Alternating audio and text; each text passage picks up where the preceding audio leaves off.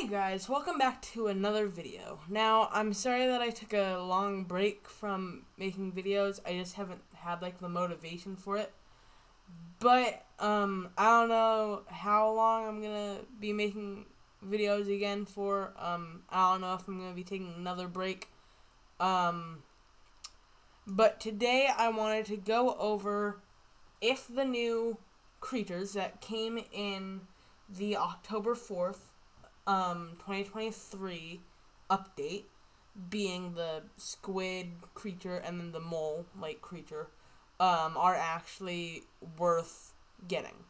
So first things first, um, let's take care of the squid creature because let's be honest, that's probably what you guys want to actually know if you guys could get it or not because I mean it's only gonna be here for a few more weeks. Um, I think it's gonna be here for like three more weeks, and then next week I believe we are getting the warden species for the um, summer paradise event. So, um, as you guys can see, there it is, right there, the squidiga, the squitigo, the squitigo.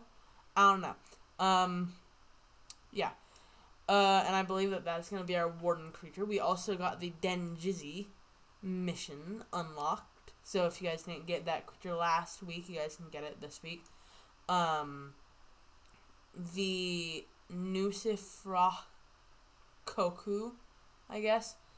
Um, that is still available from last week. So is the Mordelium and also the Rolrolo. Um, so this creature is a tier 2 herbivore. Um, it's also a glider slash semi-aquatic. Um, and its special ability is invisibility. Yeah. Um, so yeah. Just a little something about it. Um, but let's actually head over to... No, how about we head over to this little rock. Also, I believe this creature takes about 13 minutes to grow. Um, so yeah, if you guys wanted to do that.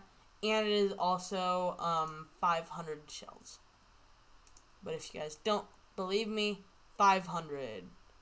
And yeah, tier 2, herbivore, semi-aquatic slash land, but it's also glider, so yeah. Um, here's how you guys can buy all the shells in case you guys were curious, in case you guys just want to buy it. Um, and we also got three plushies in this event.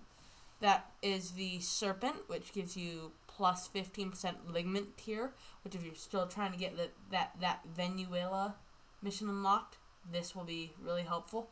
Um, the Goldfish, which gives you the Iron Stomach ability, that means that you can eat rotting food. And the Palm Tree, which gives you plus 20 hunger capacity. Um, that's also, it's I guess it's T-pose animation. Um, but yeah, it has 13,000, I mean 1,300 health, 120 max stamina, 22 speed, 80 damage, 65 appetite, 0 bleed, 3 out of 3 night vision. Now that's not bad, and it is also a tier 2 herbivore. Um, this is its sitting animation, as you guys can see. That's its lying down animation, very cute. Um, its idle animation, it's walking animation. It's running animation, so it's like jumping off. Um, it's aggro animation. It's cower animation. Finally, it's rolling mud animation. Um, now it's swimming animation, or it's idle swim. Now this is its swimming animation and then it's sprinting like under the water animation. That's its um, idle gliding animation, and it's diving glide. Oh, yeah. I guess anything that you do now, you get shells, or at least it seems like that for me. Um. So yeah, I would say that if you're trying to get like a cuter creature, I would recommend this one to you. Um, stat based, like its damage is 80 damage. And it has a really weak health, being only 1300. Like, I think that even like a Gyrotus could probably two hit this creature. So if you're more into PvP, I wouldn't recommend this creature. But if you are, but if you like cuter animals in this game, I would definitely recommend this to you. Um, or if it looks good to you, because I mean this is a pretty interesting looking creature, get it. Um, if you're tr- if you're a collector, get it. Um, and if you just want to get it in general, I would think about it at first because you might change your mind on it. Um, and like also don't impulse purchase these creatures because if you impulse purchase, you will quickly run out of like your mushrooms, your tokens. I mean, not not your tokens, but like your tickets, your shells. And that this is the same thing in the real world. If you impulse purchase, you'll quickly run out of your money. So yeah, don't impulse purchase. Um, so yeah, to the general public, um, who's more into like the survival aspect, I wouldn't recommend this creature. I wouldn't say that it's worth it for the general group or for the general community. But if, like I said, you are into cute creatures, 100% worth it. Um, so yeah, I will be joining right back in as soon as I get the new, like, mole creature. I guess, whatever it's called. Be back very soon. Okay, we are back. So I just wanted to quickly like go over like its palette and stuff because I didn't do this with the squid. Um, but this what its palette looks like. You got a bunch of color options. This is what the creature looks like. Sexual dimorphism. Males have this little fin underneath their chin. Females don't. Um. So yeah.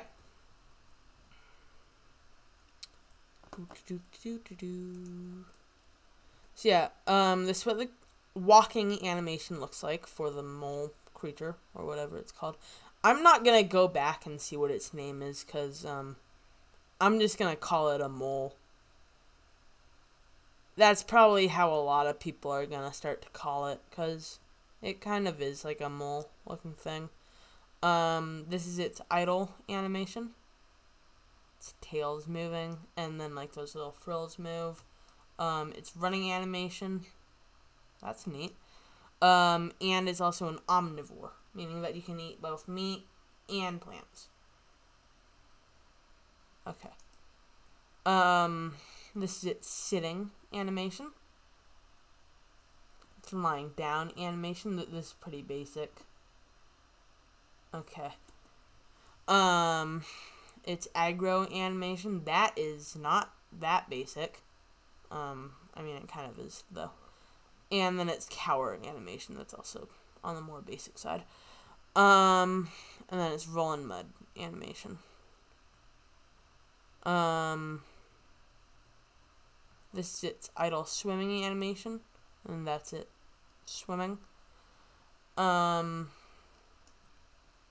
and then as soon as I get back onto the land, we'll go over its stats and yeah. Um, so it has 4,000 health. That's that's good. Um 60 max stamina, 23 speed, 300 damage. That's also not bad for a tier 3. Um 85 for its appetite. Um, two out of three night vision could be better, but hey, it's not that bad. And then three out of five for its tier. And then it's also an omnivore, an omnivore, and yeah. Anyway, I saw that we could become elder. Okay, I just wanted to make sure that that wasn't like a glitch. Um, so yeah, this is available in the time gacha for the five hours, which I believe is 300 points. So yeah, it's not that hard to get if you play this frequently. So yeah, you guys should be able to get this creature like pretty quickly. Um so yeah, stat wise, this is it's a pretty good tier three creature, I'd say. Um, so yeah, if you're more into like the PvP and if you like to play as a smaller creature for PvP, this is a pretty good creature for that because it has 4,000 health. That can take a lot of stuff. Um, and it also has 300 damage. So yeah, it's not a bad creature for PvP, but it's definitely not the best. Um, if you like the animations for creatures, don't get it because, I mean, that's pretty basic. Um, so yeah, if you guys wanna, if you guys prefer the more um, animations of the creatures, don't get it. If you guys like the PvP aspect of the smaller creatures, get it. Um, so yeah, PvP, it's worth it. Um, kind of anything else, I wouldn't really say it's that worth it. Um, so yeah, I hope that you guys enjoyed the video. Please remember to like, comment, share, and subscribe.